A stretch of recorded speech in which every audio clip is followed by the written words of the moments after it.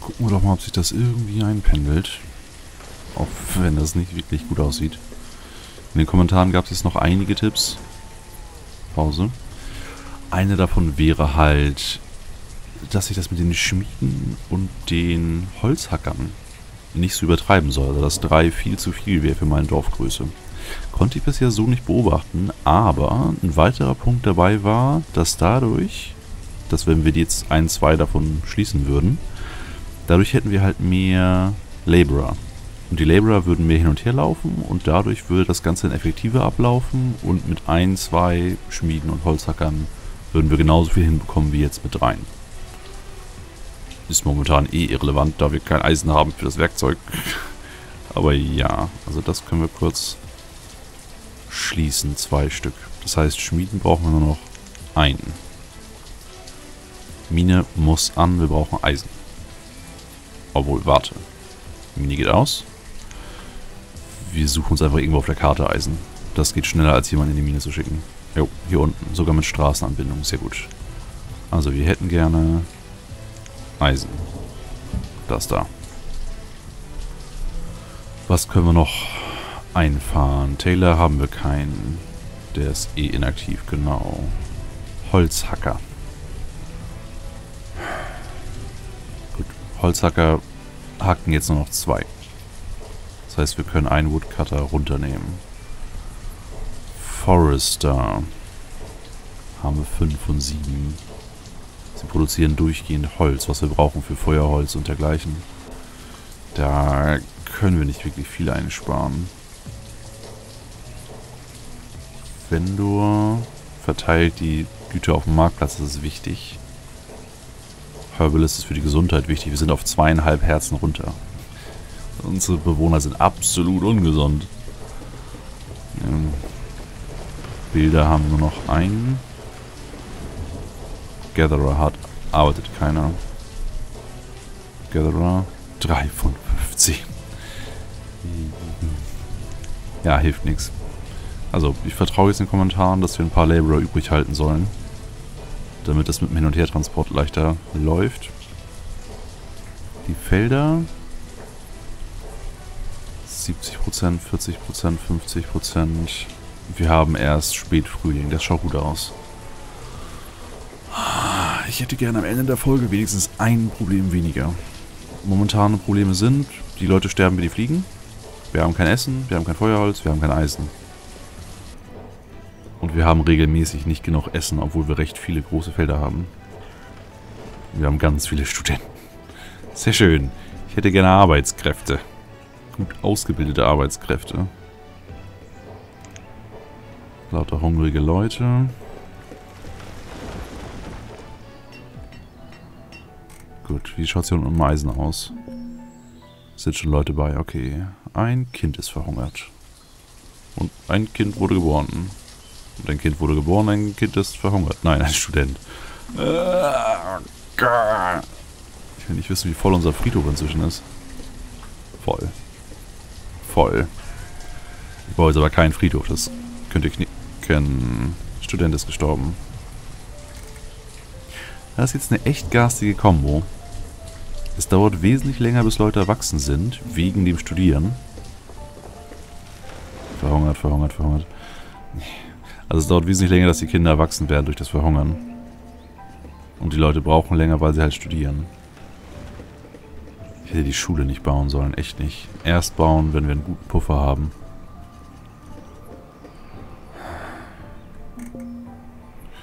Gut, müssen wir jetzt gnadenlos durchziehen.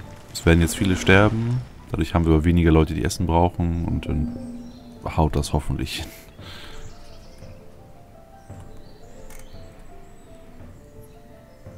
Aber ich habe irgendwie nicht sonderlich viel Hoffnung. Sie brauchen jetzt das Eisen, um die Werkzeuge herzustellen, damit die Farmer schneller arbeiten können. Und dann haben wir hoffentlich diesen Winter genug Essen. Verhungert, verhungert, verhungert, verhungert. Boah. Wir haben nicht genug Farmer. Wir haben nicht genug alles.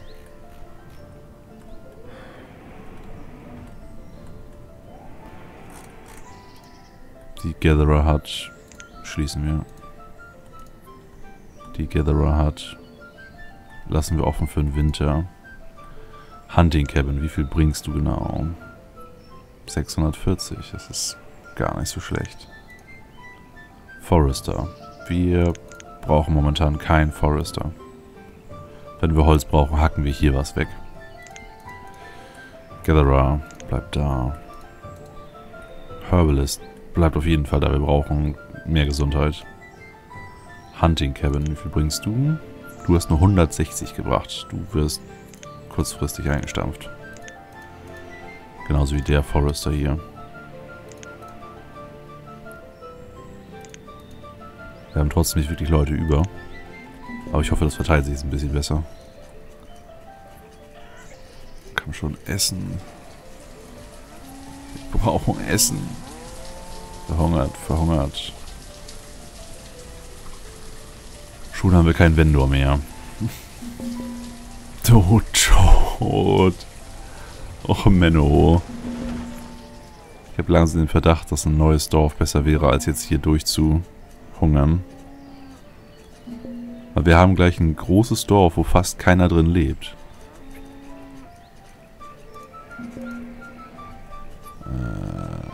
Hühnchenfarm kann ruhig weiterlaufen.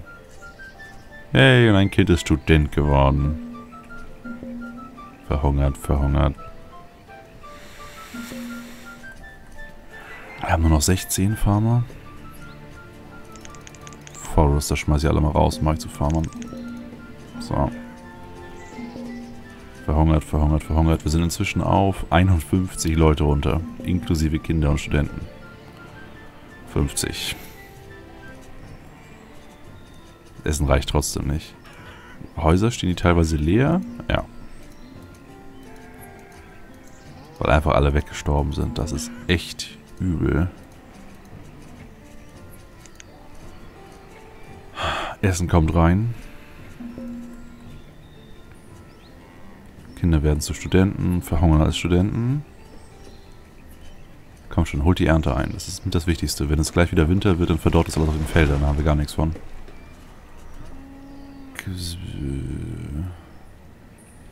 Woodcutter, wir haben kein Feuerholz. Hm, hm.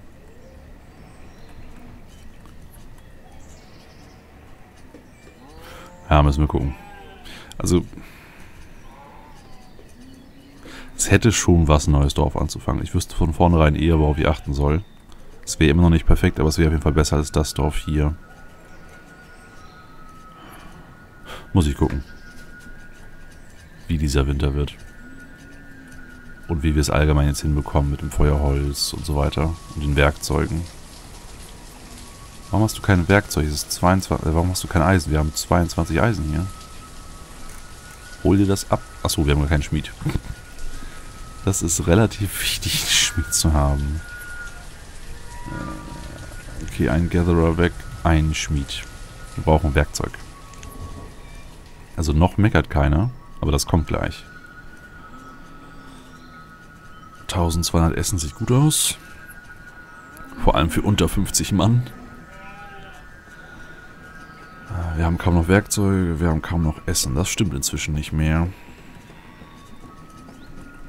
Wir haben Herbst. Ernte ist fast drin. Okay. Das war jetzt ein sehr, sehr herber Rückschritt. Schaut es mit den Häusern hier eigentlich aus? Jo, leer, leer, leer.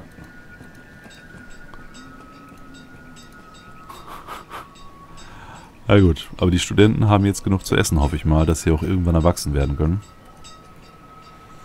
Und dann haben wir kompetente Arbeitskräfte, die das Ganze hier ein bisschen besser reißen.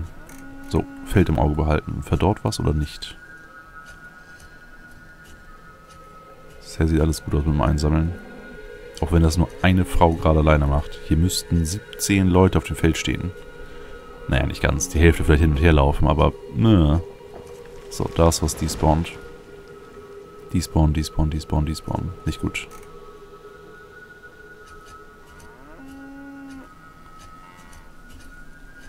Ja. Na gut. Ist überschaubar, was da verdorrt ist. Das ist noch okay. Was machen wir jetzt? Pause. Ja, wir essen ein bisschen Essen.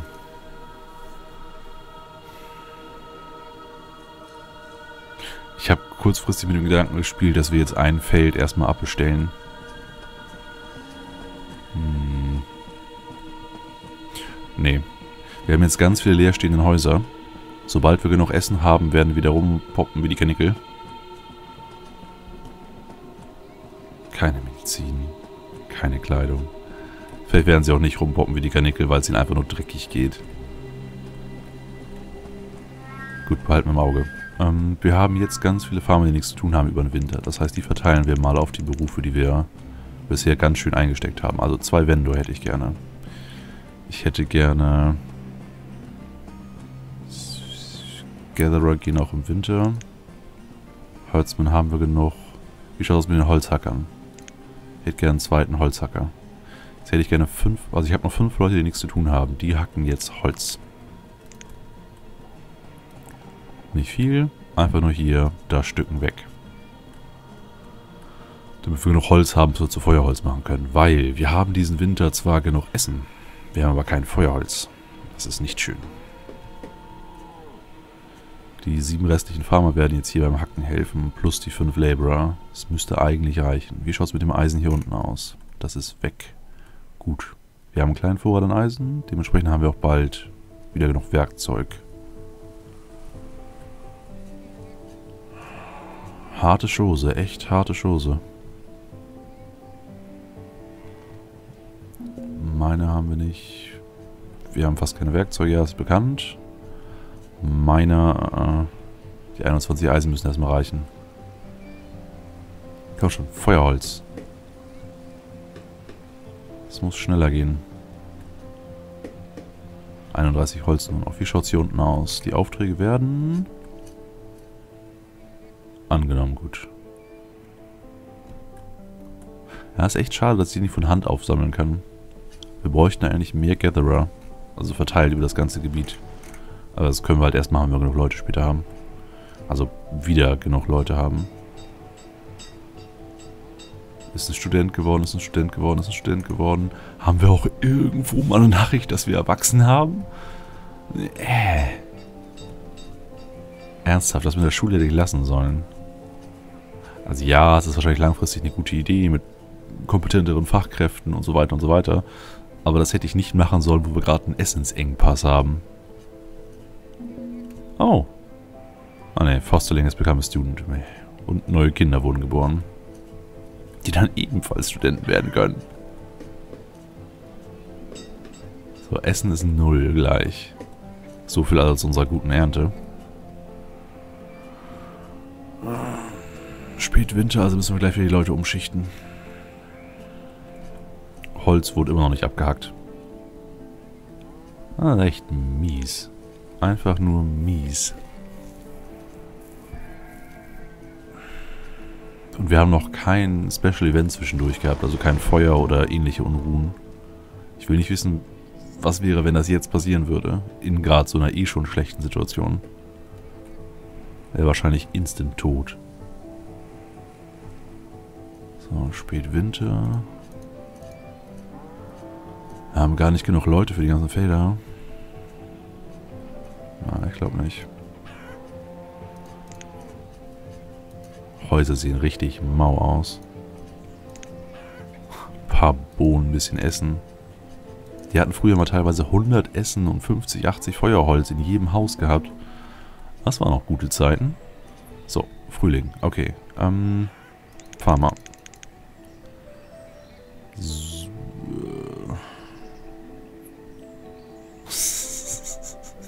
Ich habe keine Leute zu Parteien. 13 von 22. Nö, ein Feld wird dieses Jahr nicht bestellt. Ist mir lieber, dass ein Feld jetzt komplett nicht bestellt wird, als dass alle nur bei 60% oder so landen. Ich glaube, das ist effektiver. Müssen wir gucken. Sind immer noch bei 13 von 18. Schmied können wir nicht entlassen. Herbalist können wir nicht entlassen. Woodcutter. Will ich nicht entlassen. Ich will irgendwann mal einen Winter haben, wo wir nicht durchgehend frieren. Steinhäuser früher wäre wahrscheinlich auch so ein Punkt. Ah, 13 Farmer müssen jetzt die ganzen Felder bestellen. Übel, übel. Herz ist auf 2 runter.